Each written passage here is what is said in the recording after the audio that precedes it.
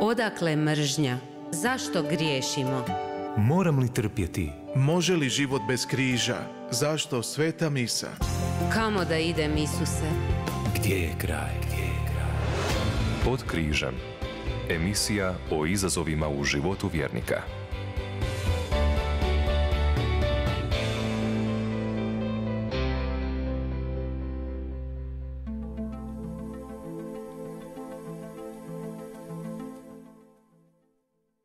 Gospodine, dvaj svoju ljubav i istinu svim ljudima, ali počni od mene. Stari je mudrac propovjedao o sebi. Kad sam bio mlad, bio sam revolucionar. Boga sam molio, gospodine, daj mi moć da promijenim svijet.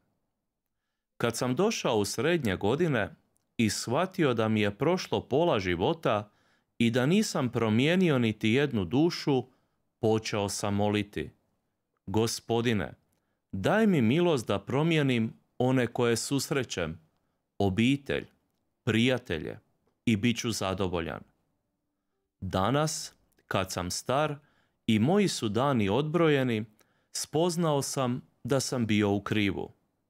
Moja jedina molitva sada glasi Gospodine, daj mi milost da promijenim samoga sebe. Da sam tako molio od samoga početka, ne bih uzalud potrošio svoj život. Zato, gospodine, probudi svoju crkvu, ali počni od mene. Gospodine, daj da posvuda na zemlji zavlada mir, ali počni od mene. Gospodine, daj svoju ljubav i istinu svim ljudima i počni od mene. Poštovani slušatelji Hrvatskog katoličkog radija, ali i gledatelji koji nas pratite putem društvenih mreža, hvaljeni su si Marija i dobro vam večer. Ja sam velečasni Nikola Jurković i večera smo zajedno u emisiji Pod križem. Postavljam večera sebi i vama pitanje. Kako prepoznati vlastite talente u izgradnji zajednice? Ove uvodne riječi molitve, ove naše večerašnje emisije zapravo su poticaj i govor o temi o kojoj ćemo promišljati, a to su talenti. Na koji način u životu prepoznati i iskoristiti ono što nam je Bog darovao. Osvijestiti vrijednost vlastitoga doprinosa u rastu i izgrađivanju zajednice, zajednice obitelji, župe, crkve i probuditi duh zauzetosti u zajednici kojoj pripadamo. No ne samo prepoznati, nego i osvijestiti stanje naše duše i onaj trenutak koji zapravo u svima nama guši dio naših talenata. Kako zapravo to gušenje otkloniti i kako zapravo u svagdašnjem životu pokušati što radosnije živjeti dar vjere koji nam gospodin donosi. Naše večerašnje promišljanje o prepoznavanju i otkrivanju talenata pokušat ćemo slikovito dočarati. Uzet ćemo primjer gorušićina sjemena ili kako ga obično nazivamo zrna. Ne znam jeste li ikada vidjeli to sjeme ili imali ga prilike držati u svojoj ruci. Gorušićino zrno među najmanjim je sjemenkama na svijetu. No ipak iz njega nikne jedna lijepa, biljka žutih cvjetova, visoka malo više od metra, snažna korijena, korisna i ljekovita. No dok je samo sjemenka, ne možemo, dragi moji slušatelji, sa sigurnošću reći kakva će biljka biti. Možda sjemenku i zamijetimo, jer je sitna. Zapravo, ovaj moj govor večeras o gorušićinom zrnu svatko je od nas, kad dolazi na ovaj svijet. Sitan, upućen na drugoga i njegovu pomoć. Golim okom ne možemo vidjeti što će nastati od nas kada narastemo i kakva ćemo dijela u svijetu činiti. Gorušićino zrno možemo gledati i kao talente koje nam je Bog dao. Svaki je talent u početku malen, jedva primjetan. Da bi se talent razvio i postao primjetan, trebamo uložiti mnogo truda. Samo služenjem talentom koji nam je dan, taj dar možemo uistinu prepoznati i umnožiti. Jer samo umnažanjem možemo vidjeti stvarnu veličinu svojih talenata. Zato već sada vas pozivam da pokušate zajedno sa mnom promišljati i vidjeti koji su to zapravo talenti u vašem svakdašnjem životu. A da bi nam olakšalo ovo cijelo naše razmišljanje, uzet ćemo jedan kratki evanđeoski odlomak koji nam donosi Sveti Matej. A on govori ovako. Onoga dana Isus iziđe iz kuće i sjede uz more. I nagnu k njemu silan svijet te morao ući u lađu. Sjede, a sve ono mnoštvo stajaše na obali. Izborio im je mnogo u prispodobama. Gle, iziđe sijač sijati i dok je sijao, nešto zrnja pade uz put. Dođoše ptice i pozobaše ga. Nešto opet pade na kamenito tlo gdje nema dosta zemlje i odmah izniknu jer nema duboke zemlje. A kad sunce ogranu, izgorje jer nemaše korijena, osuši se. Nešto opet pade u trnje, trnje uzraste i uguši ga. Nešto napokon padne na dobru zemlju i davaše plot. Jedno stostruk, drugo šestdesetorostruk i treće tridesetostruk. Ko ima uši, neka čuje. Dragi moji slušatelji Hrvatskog katoličkog radija, još jednom postavljam pitanje kako prepoznati vlastite talente u izgradnji zajednice.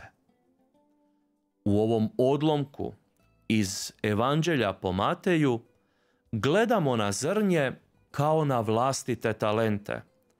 Razmatramo prispodobu kao događaj koji se mogu dogoditi s talentima u životu svake osobe. Služimo li se mi zapravo talentima ili oni ne padaju na plodno tlo u našem životu? Koliko smo spremni, dragi moji, izložiti svoje talente u životu kako bi koristili i obogatili osobu pokraj sebe. Više puta u svom svećeničkom služenju prisjetim se poučnih i poticajnih riječi svima vama poznatih dragih ljudi, fra Zvijezdana Linića i profesora Tomislava Ivančića. Ako ste išli na njihove seminare, onda bi na kraju svakog seminara i fra Zvijezdan i profesor Tomislav rekli vrlo jednu važnu rečenicu, a to je Dragi moji, završili ste sada ovdje seminar, stekli ste neke nove talente, otkopali ste ih, pronašli ste ih, a sada se vraćate u svoj svakodnevni život, u vaše župne zajednice, u obitelj, u društvo, na tvoje radno mjesto. E pa sada je na tebi red da upravo te talente koje si stekao znaš primijeniti, znaš ih uprisutniti u svakodnevnom životu. Zato i ovo naše večerašnje promišljanje i zapravo propitkivanje o talentima u svagdašnjem životu potrebno je jednako tako poput ovog dobrog savjeta dragih nam ljudi u život sprovesti. No krenimo mi redom. Kaže danas gospodin u evanđelju. Nešto zrnja pade u sput, dođoše ptice i pozobaše ga. Ovdje ćemo si postaviti dvije životne situacije. Što je ono što u životu volim činiti, što zaista svakodnevno od srca s puno volje i truda radim. Možda je to pjevanje, možda ples, možda šetnja s dragim ljudima. No postoji, vjerujem, i ono u životu što baš i ne volimo raditi, što nas nekako uvijek guši. Možda je to slušanje drugoga, čitanje, savjetovanje. Bog svakome od nas daje prema životnim okolnostima, obiteljima u kojima smo rođeni, mjestu u kojem smo rođeni, ljudima koji će biti u našem životnom okruženju. Postoji ono što nam je lako raditi, ono u čemu uživamo. To su oni talenti kojih smo svjesni i rado ih se razvijamo, bavimo se s njima, možemo reći onako da nam postaju hobi. No međutim, postoje i oni talenti koji na neki način pritišću i tlače. Možda je tko dobar slušatelj, daje dobre savjete ili možda dobro kuha, ali mu to nije osobito drago ni ugodno i zbog toga to izbjegava činiti. Možda tko lijepo čita, ali se zbog kakva razloga nikad nije odvažio čitati na svetoj misi. Možda tko lijepo pjeva, ali pjeva samo u sigurnosti svoje sobe ili možda kupaonice. Je li se možda uključio u zbor? Možda dobro poučavaš, ali uvijek se nađe netko drugi tko će to učiniti jer se tebi sada možda baš i ne da. Sve to, pa i ono najmanje, jest talent koji ti Bog daje. I ono glavno pitanje je sada, služiš li se ti zapravo njime? Umnažaš li taj talenat? Oni talenti koji smo svjesni, ali ih ne volimo, jesu oni koji padaju kraj puta. Imamo ih, ali se njima ne služimo u svoj punini. Ako si dobar pjevač, a ne razvijaš svoj talenat i ne služiš se zapravo njime, talenat će polako blijediti. Sve je teže pogoditi onu pravu notu. Ako si dobar slušatelj, ali ti se ne da biti uvijek utjeha drugome, s vremenom ćeš prestati slušati. Talenat je postojao, ali ga je svakodnevnica ispunjena nekim drugim stvarima umanjila i poništila. Evo, zato od ovoga zrnja koje je palo u sput i ptice su ga pozobale, što zapravo od toga zrnja koji su naši talenti imamo ja i ti u svome životu? Koje talente rado razvijamo, a koji nam osobito nisu dragi? Zašto se volimo služiti nekim talentima i razvijati ih, a druge pak ne volimo?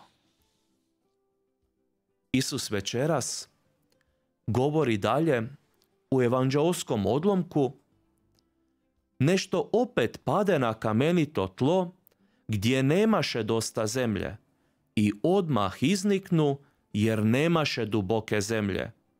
A kad sunce ogranu, izgorje jer nemaše korijena i osuši se. Blaženi Ivan Merc kaže ovako. U svakoj je ljudskoj duši težnja za nečim velikim. U svijetu smo, dragi moji, upućeni na druge ljude, to, nas, to na nas može djelovati manje ili više poticajno. Mnogo puta imamo priliku pomoći svojim bližnjima. No činimo li to često? Koliko često to zapravo izbjegavamo činiti, ali zbog čega? Kad kad možda nije jednako ono što dobivam i ono što dajem. A ja svom silom želim jednakost. Zašto bih ulagao u nešto ili nekoga tko mi neće to jednoga dana vratiti? Možda ću jednom i pokušati pomoći osobi pokraj sebe, dati joj nešto, ali drugi puta ću se već zapitati što ću ja dobiti za uzvrat. Svijet može gušiti naše talente svojom gramzivošću, nezahvalnošću i najviše rekao bih danas sebičnošću. A Isus nam kaže besplatno primiste, besplatno i dajte. Naši talenti mogu rasti samo kad ih dijelimo s drugima, a to ne očekuje zahvalnost ili išta drugo za uzvrat. Zato osmijeh koji možemo pružiti drugoj osobi vjerojatno će potaknuti i drugu osobu na osmijeh, da se nasmiješi i time ćemo proširiti radost. Svjetovno očekivanje od drugih ljudi da zasluže dio čega i mi posjedujemo, možemo shvatiti kao talent koji pada na kamenito tlo. Jednom ćemo ponuditi nešto, ali kad nas svakodnevnica pritisne, ako je ono što dajemo ukorijenjeno u očekivanju od drugoga, brzo će nestati.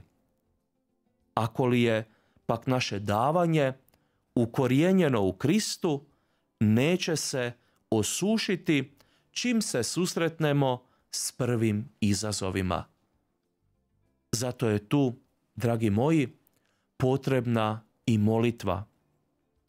Molitva u otkrivanju vlastitih talenata i ne sramiti se kad ih otkrijemo učiniti korak u svome životu, krenuti naprijed, moliti snagu i silu duha svetoga da upravo taj talenat zalijeva kako se ne bi talenat osušio. Ono što imaš u sebi trebaš dati drugima, ali sa živom vjerom. To što jesi trebaš ukorijeniti u duhovni dom koji se zove crkva. Crkva smo ja i ti, dragi moj slušatelju i draga moja slušateljice. Zato talente pokušajmo osvijetliti snagom molitve, pokušajmo ih prepoznati i nemojmo ih zakopavati duboko u zemlju, nego se potrudimo iskoristiti ih. Svatko ih ima u izobilju, zato jer nam gospodin ih doista daje u izobilju. Svakodnevno nas obogaćuje i krijepi da bismo ih mogli jedni drugima prenositi i da bismo ih mogli jedni drugima u životu svjedočiti. Evo, ostavljam ti minutu, dvije vremena da razmišliš večeras kako prepoznati, iskopati vlastiti talenat i ugraditi ga u zajednicu, u obitelj, u župnu zajednicu, u naše društvo. Isus ti govori, neko zrnje, neki talenat pao je uz put. Došle su ptice i pozobale su ga. Odnosno, nisi dobro prepoznao i talenat je otišao. Kaže Isus dalje, pokoji talenat pao je i na kamenito tlo. Nije bilo one dobre zemlje, izniknuo je, ali od jakoga sunca i bez korijena osušio se. Eto, koji je to talenat koji si trebao dobro zalijevati da bi ga danas mogao udvostručiti i s njime se radovati u današnjem svijetu. Gospodine, probudi svoju crkvu i počni od mene. Gospodine, Daj da posvuda na zemlji zavlada mir. Počni od mene. Gospodine, daj svoju ljubav i istinu svim ljudima, ali počni od mene. Dragi slušatelji Hrvatskog katoličkog radija, u emisiji smo pod križem. Ono o čemu večeras promišljamo i pokušamo svatko sebi dati odgovor je kako prepoznati vlastite talente u izgradnji zajednice. Govorili smo malo prije o talentima, odnosno o sjemenu, o gorušičinom zrnu koje nam je danas onaj slikoviti primjer kako bismo možda najbolje mogli razumjeti Isusove riječi. Gospodin nam progovara dalje. Nešto opet padne u trnje, trnje uzraste i uguši ga. To je ono što nas udaljuje od Isusa, odnosno sprečava razvoj talenata. Kako izaći iz okvira koji nam nameće danas svijet, potom sami sudionici i grijesi kojima se udaljujemo od gospodina. Svaki naš talent može pasti u trnje, a trnje to su vlastiti grijesi i slabosti, naša ljenost, naši propusti. I upravo to nam može ugušiti naše svakodnevne talente. Međutim, svakomu je od nas dano da može izaći iz tih okvira iskučenosti u koje nas zatvara grijeh, a u tome nam pomaže redovita molitva, a napose ispovjet. Razvojem talenata koji nam je dan i stavljanjem toga talenta u službu zajednice uspijevamo se ponovno približiti gospodinu. Evo, to je onaj put kojim trebamo krenuti i ti i ja. Življenje duhovnosti pomaže nam da trnje grijeha, ljenosti i straha ne uguši naše talente. Jer da bismo razvijali svoje talente, važno je usmjeriti ih Bogu, dati ih Bogu na raspolaganje. Kormilo našega života usmjeriti onim Božim putem. Što će mi dobar glas ako njime ne slavim Boga? Što će mi duhovnost ako njome ne služim samo da bih nasmijao druge, ne da bih pokazivao kršćansku radost u životu? Ma što će mi jedan talenat ako se njime ne služim s ljubavlju? Ako ga ne dijelim s ljubavlju? Čuvam li ga ljubomorno samo za sebe, talena će se izobličiti, postaće bodljikav, postaće trnovit, jer je pao na ono tlo gdje nije uspio. I tada prestaje zapravo na životni talenat služiti svoje svrsi. Talent mi je darovao gospodin da bih njime, njime zapravo mogao slaviti gospodina. To je oruđe kojim nas Bog oprema kad nas šalje u svijet. Na svakome je među nama koliko ćemo se talentom služiti i umnažati ga. Dragi slušatelji, svatko je od nas ugrađen u crkvu. Svoje talente stavlja na služenje crkvi. Vidjeli smo kako i svijet, ali i mi sami možemo gušiti te talente.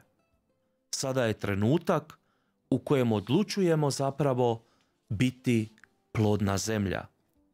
Trenutak u kojem naše srce postaje plodno tlo za Božju riječ. Postaje plodno tlo za dobra djela. Evo, pred nama je i misijska nedelja. Jedno dobro plodno tlo u kojem se možemo zajedno ugraditi i mislima riječima, a napose dijelima povezati se sa svima onima diljem svijeta koji žele služiti gospodinu u onim najmanjima, u onima koji su potrebni i Božje ljubavi, ali i ljudske prisutnosti. Zato pokušaj da tvoj talenat koji je možda pao u trnje i trnje ga je nekako zaraslo i ugušilo. Ima ono svjetlo na vidiku, ima onaj svjetionik koji se uvijek u tvome životu vidi. Zato kormilo svoje životne lađe upravi prema tom svjetioniku koji je Krist, koji te čeka raširenih ruku, koji te čeka milosrdnoga srca, jer želi da sve ono što te guši predaš njemu. Da staviš u njegove ruke, u njegovo prečisto i milosrdno srce i na taj način dopustiš zapravo njemu da kroz talente i dalje u tvome životu djeluje. I ono posljednje što nam Isus večeras u evanđelju govori, kaže Nešto napokon padne na dobru zemlju i davaše plot. Jedno stostruk, drugo šestdesetorostruk i treće tridesetostruk. Koje su to okolnosti u kojima mogu razvijati svoje talente? Navešću ih večeras nekoliko. Oslobodi se posjedovanja, budi darežljiv prema drugima. Nazovi usamljenu osobu koju poznaješ, čak i kad znaš zašto je usamljena, pogotovo zato što znaš zašto je. Nauči izreći molitvu. Dragi Bože, blagoslovi, izreci ime osobe možda koja te uznemiruje ili uzrujava ili kako ono znamo reći u svakodnevnom životu koja mi ide na živce. I zamoli gospodina da pokaže u tom trenutku ti milosrđe. Učini nešto ljubazno i korisno osobi s kojom se ne slažeš na dobro ili ti je čak učinila loše. Ponudi zaposlenoj majci pomoć u čuvanju možda mlađe djece, pranju posuđa, rublja, odlasku u trgovinu. Ako barem kratko ne možeš sjesti pokraj beskućnika i darovati mu svoje vrijeme, tada možda novčano mu pomozi ili udruzi koja pomaže tome beskućniku. Ponudi starijoj osobi da ju odvedeš na svetu misu. Odloži mobitel, pa zauzeto i pomno slušaj drugoga gledajući ga u oči.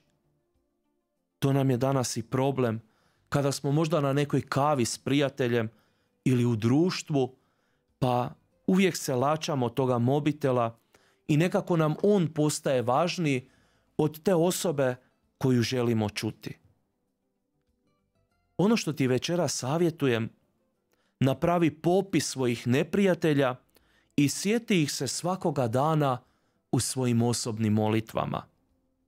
Možda je zahtjevno, pomalo teško, ali vidjet ćeš uspjeh. Iskoristi rasprodaje, kupi različite odjevne i higijenske proizvode, te ih daruj župnom karitasu ili pripremi vlastite pakete i daruj ih potrebitima. Evo još malo učit ćemo i u vrijeme adventa, gdje ćemo posebno evo pokušati svojim dobrim dijelima biti blizu onih koji su u potrebi. Evo pa već sada te potičem da počneš o tome razmišljati, donositi neku odlogu, odluku kako ćeš to sprovesti u djelo. I ne boj se tu obeshrabriti, jer možda upravo talenat čeka tvoje dobro, plemenito i plodno srce. Sjeti se nasmijati, pozdraviti ili započeti razgovor s nekim tko nije možda u tvome svakodnevnom okruženju. Daruj kakav predmet do kojega ti je stalo, tko bi to, evo, bio presretan imati. Na čiju drskost odgovori poštovanjem kako bi želio da se pokaže prema tebi.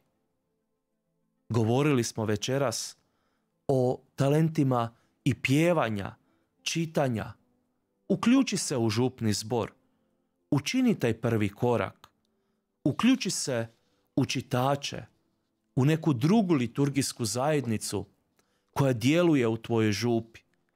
Nemoj uvijek biti onako po strani, negdje gdje zapravo želiš se sakriti od svih. Uključi se u ministrante. Evo izmoli devetnicu za onoga ko ti nije drag. I čekaj one životne, duhovne plodove. Moli za dušu u čistilištu. Bliži nam se svetkovina svih svetih. Obilazimo naša groblja, prisjećamo se naših najmilijih. Ali nemojmo to samo izvanjsko učiniti. Pokušajmo to plodno tlo našega srca doista i dijelima prikazati.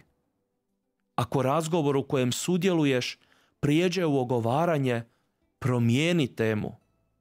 Evo neka tvoje srce bude plodno za talenat koji će izbjegavati ogovaranje i drugome pokazati da se bez toga može.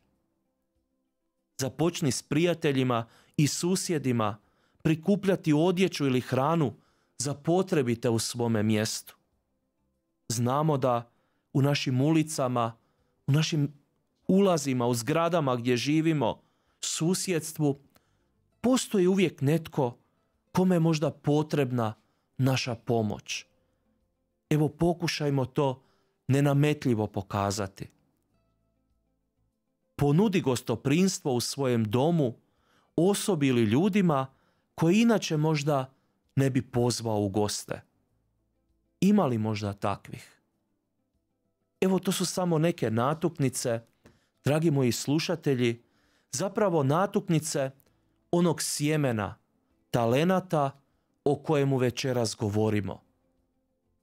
Koliko ih ima u tvome životu da ih činiš, a koliko ih treba još izvući na vidjelo i dijelima potkrijepiti, to samo ti znaš.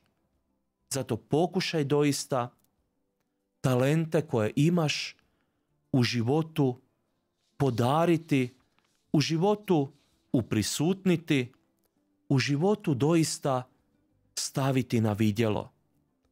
Jer mi smo oni koji izgrađujemo crkvenu zajednicu, mi smo oni koji smo zapravo cigle, onaj ugaoni kamen koji je uzidan u zajedništvo. Na život je ogledalo te zajednice. Kad ljudi gledaju kakvu građevinu, vidaju fasadu, krov, prozore i tako o njoj nešto zaključuju. Tako i kad nas vide, zaključuju zapravo kakva je crkva. Neka svi naši talenti budu potpuno iskorišteni u izgradnji baš te zajednice i vidljivi u svakom obliku našega života kako bi i nama na kraju zemaljskog putovanja gospodin rekao Valjaš, slugo dobri i vjerni, u malome si bio vjeran, nad mnogim ću te postaviti. Plodno tlo mojega i tvojega srca otvoreno je Božjem životu.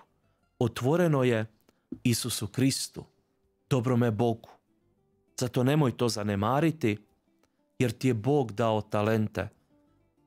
Izvadi ih na vidjelo i pokušaj ih svojim dobrim dijelima u ovom životu pokazati. Ostavljam ti minutu dvije vremena da razmisliš da li je koji tvoj talenat pao u trnje i trnje ga je ugušilo. I ima li u tvom životu zapravo one dobre, plodne zemlje na koju je palo zrnje, odnosno talenat, i ti si ga umnožio. Kako prepoznati vlastite talente u izgradnji zajednice? Tema je o kojoj smo večeras promišljali na temelju evanđelskog odlomka, na primjeru gorušićina zrna, odnosno sjemena. Zapravo, to malo sjeme talenti su u našem životu. I danas nam je Isus govorio da mnogo sjemenja pada uz put gdje dolaze ptice i one ga pojedu. Opet nešto padne na kamenito tlo i nema dosta zemlje, izniknu, ali ga sunce sprži i osuši se. Nešto padne u trnje, trnje uzraste i uguši ga. Ali nešto padne i na plodno tlo, na onu dobru zemlju i davaše obilan rod. To plodno tlo, tvoje je srce, dragi moj slušatelju i draga moja slušateljice. Zato Božoj prisutnosti otvori svoj život. Otvori se Božjem djelovanju snage i sile Duha Svetoga i talente koje posjeduješ ne zadrži za sebe, već ih razvijaj u obitelji, u župnoj zajednici, u ovom našem društvu, u ovoj našoj preljepoj domovini Hrvatskoj. Toliko je prostora, toliko je toga plodnoga tla gdje trebamo ti i ja djelovati. Zato počnimo. Nemojmo se obeshrabriti.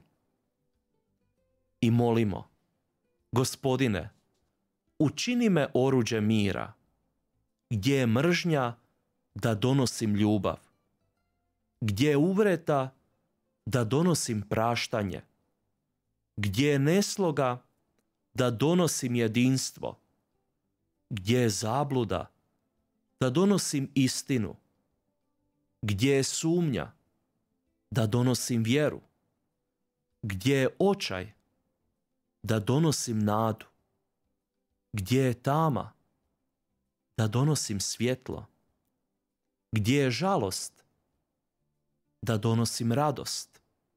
Gospodine, daj da se ne brinem toliko da budem utješen, nego da tješim, da budem shvaćen, nego da ja druge razumijem, da budem ljubljen, nego da ja ljubim. Jer tko sebe daruje, taj se prima. Tko sebe zaboravlja, taj se nalazi. Tko prašta, bit će mu oprošteno. Tko sebi umire, taj se rađa za život vječni. Život vječni, onaj radosni trenutak kojemu se jednoga dana nadamo i ja i ti. Poštovani slušatelji Hrvatskog katoličkog radija, bila je ovo emisija pod križem u kojoj smo pokušali odgovoriti na pitanje kako prepoznati vlastite talente u izgradnji zajednice. Plodno tlo je pred nama, zato s gospodinom hrabro naprijed. S vama je bio večela, večeras velečasni Nikola Jurković. Do sljedećeg utorka želim vam mirnu i blagoslovljenu noć. Hvaljen Isus i Marija.